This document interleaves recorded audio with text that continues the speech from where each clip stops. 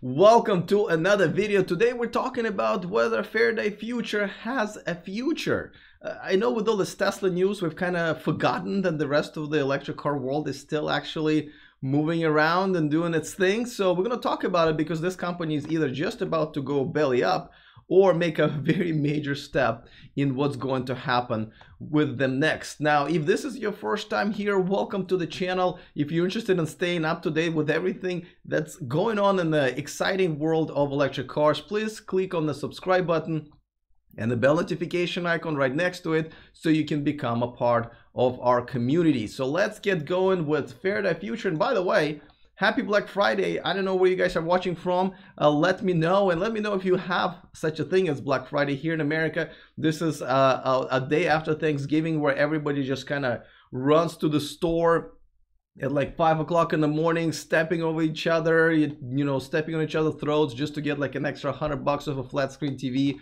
huge sales going on. Uh, and then we also have Cyber Monday where you can do the same thing at the comfort of your home online and have it delivered like the next day. So let me know if that's what you guys are doing. I'm going to be doing the Cyber Monday special uh, on Monday in the morning at the same time 11 a.m. letting you know what type of you know electric car you know owner deals that are out there so definitely stay tuned for that. And if you have any suggestions, also drop me a line, drop me an email, and I will definitely try to include those sources. All right, let's talk about Faraday Future. Um, now, if you don't know, this is this is a startup. You know, 2014, the, the startup based in Los Angeles, but backed by a, a Chinese investor. And first they came out with this car, I think it was called Zero, uh, FF01 and this was like a sports car and it was kind of a more for like for the show and everything but i was i was okay um, you know it was a good start you know just to make a splash uh, with everybody but then they came out with this car right here, which is FF91. And that car was actually more for like, you know, Tesla competitor for Tesla Model S. They, you know, they claimed a really good acceleration, you know, really long range. And I think they collected tens of thousands of reservations when they've unveiled it at the CES uh, about what now? It's been a while, like a year ago, even more. And then little by little by little, they they started kind of dwindling down. They tried to build a factory. They got the deal in Nevada. Um, they kind of running out of money. Some of their executives started to quit or get fired and so forth.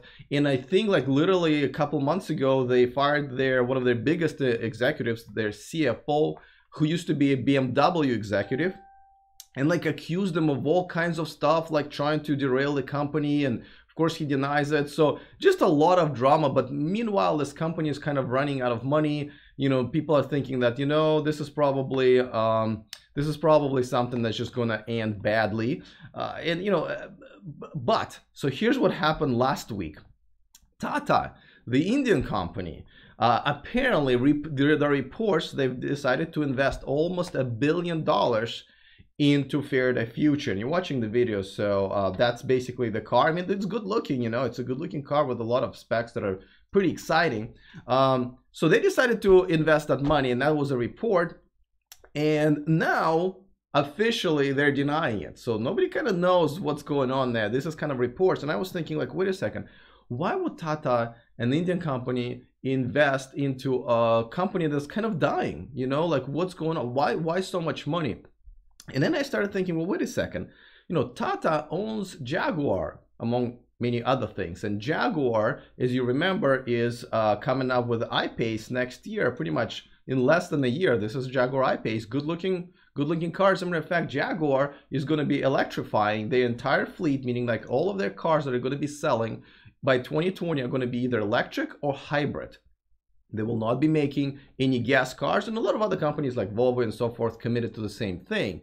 Um, but I'm thinking, you know, these guys probably would mind having this technology right here. And if they invest the money, uh, they either invest in technology that will obviously benefit their entire brand. But if Faraday Future goes belly up, well, guess who gets the first dibs at ultra cheap uh, in intellectual property uh, to get back to Tata and you know Jaguar brands and others. And I'm thinking like, wow, that's actually not a bad move at all. That's not a bad move at all. Now we still don't know whether or not it's true, and I think things like this depend on you know I, I was talking about Lucid uh, Lucid Motors as well, right? They have Lucid Air that seems like a promising car, but you know, do they really have the technology? Because I feel like a lot of this a lot of these companies they kind of roll out prototype and see oh well let's see if we can actually make it. Can we hire engineers and designers? Can we get a factory going? And they don't really know. They just want the investment money right? Well, so depending on what they actually have right now, I think that's what really the future of there uh, holds for them. If they really do have some really good proper uh, intellectual property, then why not? You know, I, I can see companies buying it. Like for example, with Lucid, uh, with either them or uh, or Fisker or uh, Lucid uh, Motors, you know, I can see bigger companies buying them or investing heavily in them so they can get the technology, they can get maybe a luxury type of brand under their umbrella of, of, of different types of cars that they make you know that that makes that makes kind of a sense so um, yeah so i thought that was kind of big news. I know it's been overshadowed by tesla roadster and semi truck and so forth. Um, but yeah so i just wanted to kind of uh, go there and and and kind of let you guys know. Let me know what you think about it. Uh, let me know if you like the look. It's kind of a controversial look. Um, David in the chat uh, says uh, what's important is where engineers came from to FF to Faraday. Uh, I mean, they came from all over the place. Like I said, their uh, CFO was a pretty prominent executive at BMW. So, um, you, know, from what I understand, their talent pool wasn't bad at all. But now they're kind of all running away. So, you know, it's it's it's you know that's it is what it is with it. Uh, Varun in the chat room says maybe Tata just bought the tech. Well, they're not trying to buy it yet, right? They're just trying to make an investment. That's at least that's what the um, uh, the you know the report are. Greg in the chat room says that he needs two tickets to CES.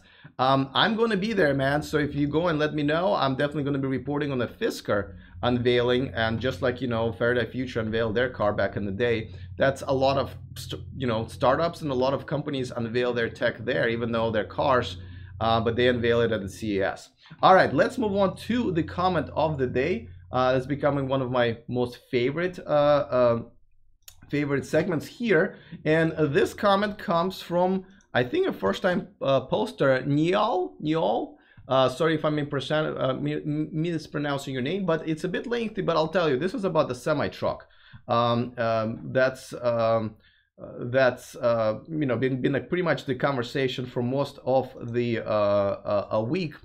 He says, and this is about the battery pack and how big it is. He says everybody has made the same assumption about the semi battery pack, using the 2 kilowatt hour per mile figure and then multiplying it by 500 miles gives you a 1000 kilowatt hour and that's what everyone's kind of speculating. He said that they said that tesla said that it's a 2 kilowatt hour per mile was the upper limit and that's uh, climbing you know also that means that climbing up the hill but then if you're getting the regenerative braking at 98% getting it back so it's almost like the hill wasn't really there. And he's kind of right about that. He says the battery pack could be much smaller than a thousand kilowatt hour, even just using a flat level consumption of maybe as little as one kilowatt hour per mile. And that would mean about 500 mile range and therefore 500 k kilowatt hour battery. So he says then it would make sense. So he says so getting 400 miles back in 30 minutes at that is for more, by far more realistic at those levels, especially since the mega charger connector looks like three supercharger pair of DC pins and one plug. So you're kind of charging two batteries at once, right? Um, up the pack voltage and it could be done with smaller supercharger tech that already exists. You know, that's an interesting point that he's making, you know, that maybe maybe we, it is not a thousand uh, kilowatt hour battery, maybe it's closer to 500 or maybe even 600 but judging by the fact that they can get all of the energy back into the battery and like hills for example don't exist um, that might actually adapt into you know some math that's closer to him so i'll be interested to know what kilowatt hour battery they actually have now today model 3 uh, specs came out and uh, turns out that uh, it is it has a 75 kilowatt hour battery like most people predicted so some of those predictions uh, have been relatively uh, on point. But nevertheless, I thought that, that this was a very interesting point So thank you for the comment of the day. I love those. This is why I like this community. You guys are just some of you guys, most of you really, um, smarter than me and know more stuff sometimes. So this is why I like keeping this as a conversation rather than a one-way uh, communication. So thank you for that. Um, so that's that's another great comment of the day. I mean, I just I just love featuring though. If you guys are watching it in the replay, please go ahead and comment. I always try to reply uh, and definitely read every single comment. So thank you for that. Um, so Varun is in the chat is talking uh, about the um, the Indian government maybe behind being the uh, Tata investment. Um, that that's possible. Um, uh, Charlie in the chat room says, how long will it take for other manufacturers to catch up to Tesla? And will they? I think your second question is a little bit better because will they catch up? I mean, at some point, probably they will, you know, uh, but right now they're being kind of lazy, I have to say. So I, if Tesla just kind of peaks out and everybody else starts really, really catching up, I say three to five years.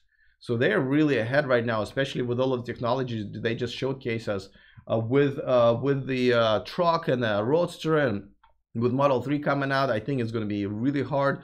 Um, you know, the obviously the network that's just been expanding like crazy. And as we talked yesterday, Elon Musk, right? They got Elon Musk, one of their biggest, uh, one of their biggest assets and difference makers.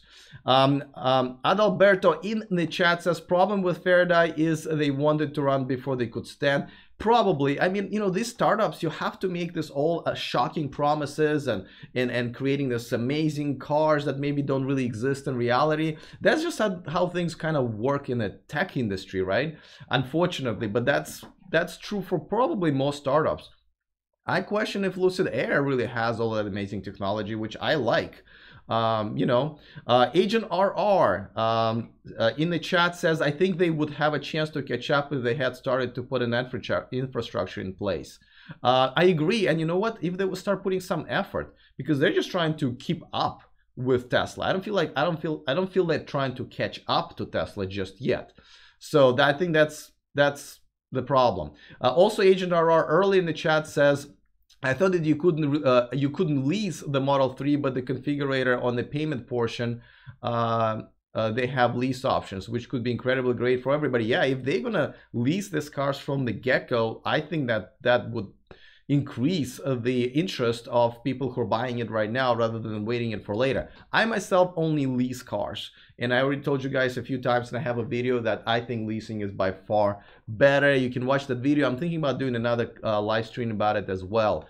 Um, so yeah, it's I mean what another exciting week. We're definitely going to recap it on Sunday when we do the hangout. There are some more news I'm going to talk to you guys about tomorrow. Uh, most likely we're going to talk about uh, this little car um, the uh, concept EQ from Mercedes. There's some video that came out. I'm going to definitely share that with you guys, and we're also going to talk about it. And you know, talking about manufacturers catching up to to Tesla, this is one of those things. So um, this is why I renamed my channel to cover all of electric cars because I think it's going to be very exciting year. I'm talking about 2000. 18 so yeah that's pretty much it guys thank you so much for watching uh, don't don't spend too much money today at black friday i hope but but i hope you get some good deals and we'll do the cyber monday special on monday where i can tell you guys about some cool cyber monday deals for the electric car owners um, other than that thanks so much for watching. I will see you guys tomorrow at 11 a.m pacific.